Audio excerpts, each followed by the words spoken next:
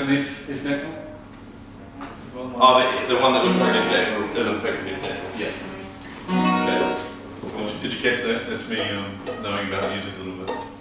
Welcome to the 13th floor. I'm Marty Duda, and today we have Scott Mason, or, or is it Scott J. Mason? Yeah, Scott J. Mason is my, J. I guess, my um, musician brand. Well, I appreciate you didn't storm off the set because I've got your name. That's all right. Scott Mason's fine as well. That is my name. Yeah. So you have a new EP out. It's called Animal Guilt. Yes. Um, it's been out for what, a, a week or so, or Uh, yeah, it came out on the 31st of Yeah, October. on Halloween. yeah, Very that's nice. right. Nice, it's scary. All righty. and uh, it's an EP, seven tracks. Mm-hmm. Give us a little background on just you know what got you to the point where you're release this. Okay. Um, well, I've I've been kind of recording in my own my little room, my own home studio for a few years, dabbling. Um, I have actually had a couple of other releases online, but they were really just me just throwing up what I had, and just because you could Right. these days, and you can. But um, yeah, this this time around, I found myself in the same position where I had uh, just a bunch of songs sitting there that I'd recorded because I just keep recording, but without any forethought, eh, you know, what I'm going to do in the future with it. So I just had this bunch of songs and went, okay, I've really got to, uh, I really got to do something with this because they're sitting there, they're driving me crazy, and I need to put them in some kind of cohesive collection and put them out. Um, and unlike the last releases I've done, which are just, like I was saying, just here's some songs, they're on Bandcamp, hooray! Right. This was, uh, with this time I thought, okay, I better do it properly um, because anyone can, these days, record their home studio, uh, make a song, put it online and say it's there.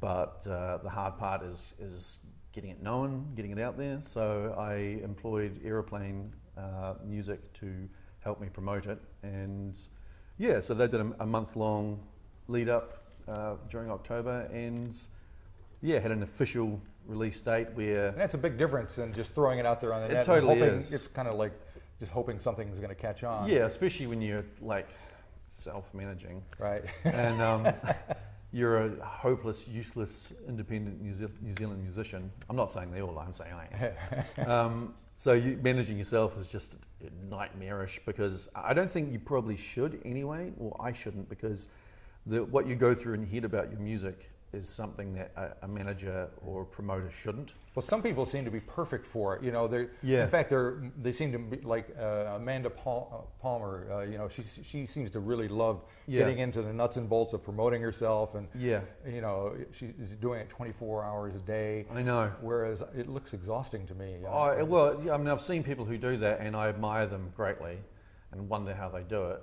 Um, I think they have to be of a certain strength of mind, Yeah. for starters, um, but also, like you say, it is pretty much a full-time job, Yeah. and if you've got, you know, no income coming in or, or whatever, then you, you're kind of screwed. So, so yeah, I mean, for my part, that, that's a couple of the, the, the problems I have. I mean, one thing's the kind of my mental issues about my music, which is one day I'm like, yeah, this is all right, this is pretty good, I should totally put this out. And next day it's like, this should be burned at the stake, no one should ever hear this, I should just go into the mountains and never be seen by humanity again. So, well, okay, so let's talk about the music. You're going to perform three songs for us today, Yep. and you've got first of all you have several musicians uh, on hand to help you out. So Yes. who's with you? Um, I have a, a string trio of um, Dave Kahn on violin, um, his sister Jenny Kahn on cello, and a good friend of mine, Brendan Turner, on the double bass. And also my life partner, um, Kirsty, on some BVs. Very good.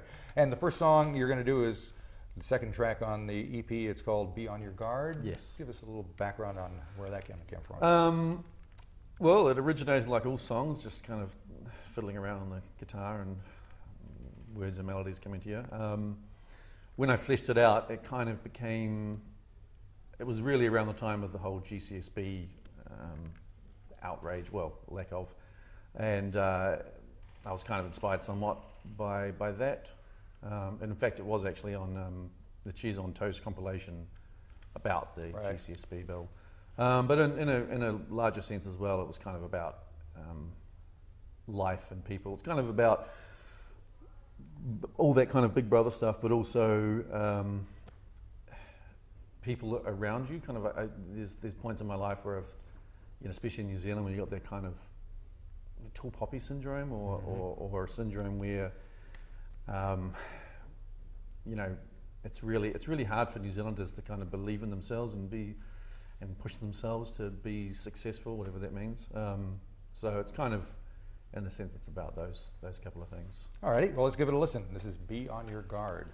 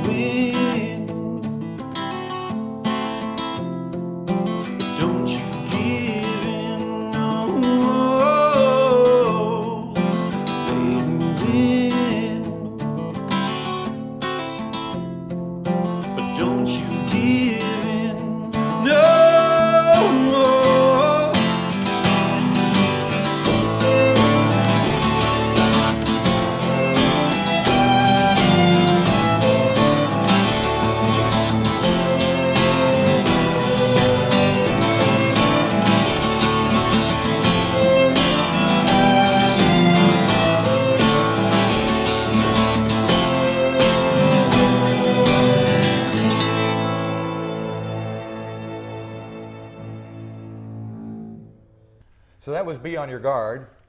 What do you got up for us next?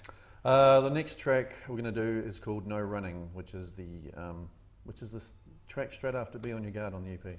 It's just like listening to it uh, and watching it at the same time. Yeah, I kind of I quite like actually doing things in, in the order that you've put them out. It kind of because you spend a, lot of time getting that order right, and it kind of is it's quite a good set list Mhm. in that sense. I mean, not always. You don't want to be nothing worse than going to see a, a band and it sounds exactly like the album. Yes. all exactly. That's why I always kind of I'm not that excited about hearing a band play an album all the way through is- in Yeah, its yeah. entirety. I mean, Yeah. even if it, no matter how great the album is, it's just that you you lose that sense of excitement of oh, I Yeah, wonder what the next song is going to be because you Totally. kind of know what the next song is So, going to be. yeah, so we just disagreed completely. no, I agreed. I Well, if you don't know that it's coming, then it's Yeah, great. But yeah. yeah. if if you're advertising, I'm playing my EP from beginning to end. Yeah. it's like okay, I can play that at home. Yeah, exactly. yeah, that's exactly it. Eh? So what can you tell me about the song itself? No running. Um, well, that one's kind of really about uh, that whole st- stepping up and, and, and doing this solo thing. Because I've been I've been a drummer for years, and I've been um, in heaps of different bands for like 25 years doing stuff. There's been a lot of those drummers stepping out from behind the uh, kit. Yeah, well, I mean, I was a drummer and a singer, and I, I've, I've, I've fronted for bands back in my young day when I had a shaved head and like um, cut off army shorts back in the 90s doing prog rock bands. And um, yeah, and drumming for lots of bands. And uh, I've always been dabbling with music and especially composition and, and keyboards and stuff like that. But uh, it got to a point where A, I was pretty burnt out on bands, and, and B, I was also burnt out on recording all this big grandiose music at home and not playing it live. So I got to the point where I need to just pick up a guitar and just start learning from the, from scratch, so I can at least get up and just play it live, you know, and it can be a simple process of writing a song, recording it, and playing it live. Um, so when I started doing that, which was probably only about three, four years ago, um, I'd been playing for a, a long time, and I'd never felt nerves for since I was 14 years old when I first got up and played. And the first time I did it at an open mic, I I didn't know what these feelings were. Right. You know, I'd played in so many bands for so many years, and the concept of nerves was gone. But getting up by myself for the first time in my life and playing my own music was terrifying. And so I spent a few years just doing kind of open mic stuff, trying to get my confidence. And um, yeah, that's kind of really about that. It's, it's Ah, about okay. kind of just, you know. All right. You Well, hopefully you're not scared playing here because you're among friends. Yeah, no, I should be fine now. I have I have other musicians with me, so that's always You can good. hide behind them. Yeah. Excellent. Okay. Well, let's listen to No Running.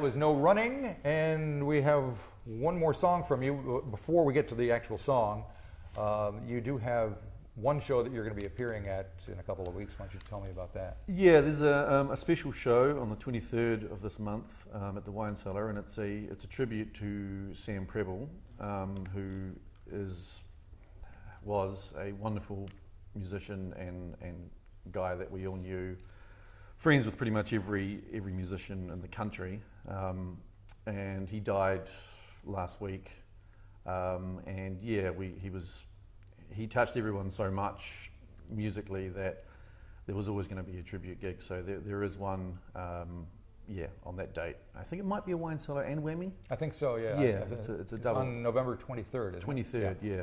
I'll only be playing one or two songs because it's really packed with um, people who will want to, you know, sing a song for Sam. Um, but uh, after that, um, there's definite plans for a, uh, a tour in early next year, a New Zealand tour. And do you tour usually with the strings and the bass? And, Well, no, that's, that's, by a, yourself. that's a relatively new thing um, because Dave did record the strings on the, on the EP, and naturally I wanted to um, get him involved in the live stuff, but then we kind of thought we might as well um, make it, a, you know, get a get a couple more and make it a whole string Yeah. section. So So sounds I, pretty I cool. Must it's, say. it's, it sounds really good, yeah. Um, and so I had to I rescored everything for all the all the songs that didn't have strings on there, and, and Right. wrote string parts for all of them, so we can do the whole lot. Um, but no, I think with the tour, the concept I imagine would be in the smaller um, venues, smaller towns, and just be a solo thing, Mhm. and then we try and organise something bigger for the main centres. Cool. So, what is the final song that we're going to hear from you today? Um, it's, a, it's a track called Good Man, um, and it's a fairly intimately personal kind of one about growing up in Blenheim and my family and um, the death of my father and things like that. All righty. Well, we'll go out with it. Thanks for coming by No and worries. bringing all these amazing musicians with us. It sounds fantastic in here. Cool. And Thanks for so having us. hopefully everybody enjoy it. Yes. Okay. We'll go off with "Good Man." Am